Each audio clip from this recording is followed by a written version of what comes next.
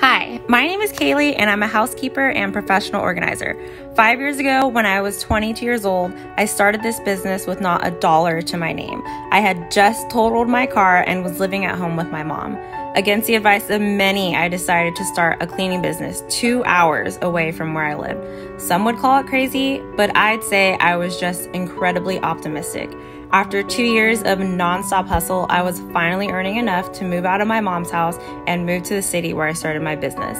The best piece of advice I received is simple it's to be obsessed.